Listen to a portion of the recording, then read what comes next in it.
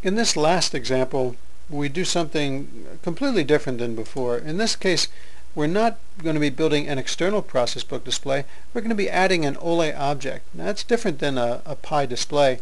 An OLE object is an embedded object that we can put inside Excel that represents a PI display. I'll demonstrate. I'll go ahead and click on this. What we're seeing here is an OLE object. This is a PI display type OLE object that's been inserted directly into Excel. Excel is an OLE object container. And if I select another tag and choose another, I can just keep on adding trends to this OLE object. Now the beauty of this, of course, is that it doesn't open up a separate window. It does have ProcessBook running in the background, but it doesn't open up a second window. And a user can always double-click on this to do an in-place activation. That's the in-place activation of that ProcessBook object. You can now scroll around or zoom in and out. I'll go back into Excel. So that's an example. Uh, the, there are some brand new things that we need to go over to look at how this has been done. And these aren't completely obvious. First of all, there is something called the OLE Objects Collection in Excel. Most OLE Object containers have an OLE Object Collection. ProcessBook has one as well. So this OLE Objects Collection is what we use to get access to these OLE objects. Each OLE object has a prog ID. We're going to check to see if the prog ID is a PI display type prog ID. And if it's not, we're going to add an OLE object of the correct type. Finally, every OLE object has itself an object property. And that's where we get access to the object model of the parent program. In this case, ProcessBook's object model. We can get to that through the OLE object's object property. Let's go ahead and take a look at the code that's going on behind here. Uh, first of all, let me select a location. That's a tag, and that's also going to be the location of the OLE object. So I'll go ahead and click on this display an OLE object, and I've got a breakpoint that should stop it just at this point. See, I'm doing a for each here. Object X has been defined as an Excel OLE object. And we're going to go through the OLE objects collection in this current worksheet. Okay, this worksheet has an OLE objects collection. We're going to look for an OLE object that has the prog ID equal to PI display type. And if we do find one, we're going to go ahead and say, yes, we've already got an object in there. And we're doing this because if we don't find one, we're going to want to set this variable equal to false, and in that case, we're going to add our own. So in the one case, we're going to use the existing, in the other case, we're going to, we're going to add.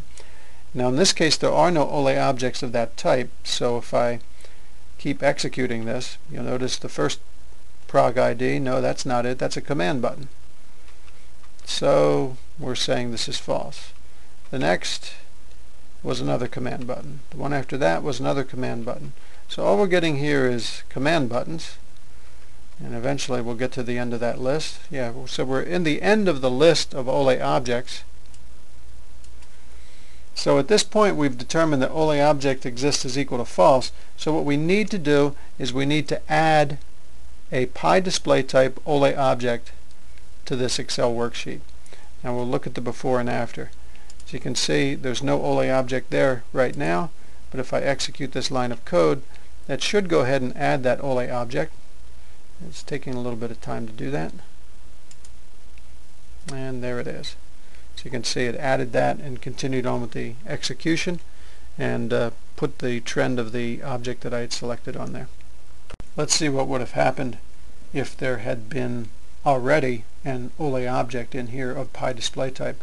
See what would have happened is very first thing we would have found, well the very first OLE object that has this type, we would have at that point object X would have been a pointer to that OLE object. And at that point, we simply say that this is true, and we exit out of the for. When we exit out of the for, that means this, this right here, is still the object that we, it's still a pointer to the object that we want. So that means later on, when we get to this if-then statement, of course, this is true, so we don't set that object x again. We don't have to create a new one. Now, once we have object x, object x is our way of getting access to that OLE object that is the right type. Once we have that, we need to get to one more thing, that is the object property of the of that OLE object. It's an obscure concept, but every OLE object has itself an object property, which is our entryway into the object model of the uh, of whatever object that represents. In this case, a ProcessBook. Uh, this is going to be a ProcessBook display. I'd like to clear up something about this object right here. If you remember, my object, that's what we used here. We set the object property of that OLE object. We set a pointer in my object to that object property. That variable is actually defined as an object variable. It's not a PI display type variable or any other type of variable. See, it is through the object property that we get access to the automation interface. And through the automation interface, we get the appropriate uh, object model. So that simply has to be an object. And as you can see, what we've done here is the same thing we've done before. When we, uh, once we have this object model, my object, we can drill down through it by saying let's uh, let's assign a trend to be equal to the result of the add method of the symbols collection of that my object variable. Now that will get access to the display within that OLE object and the symbols collection within that display and this will add a brand new trend and then after that we simply do the add trace like we've done before.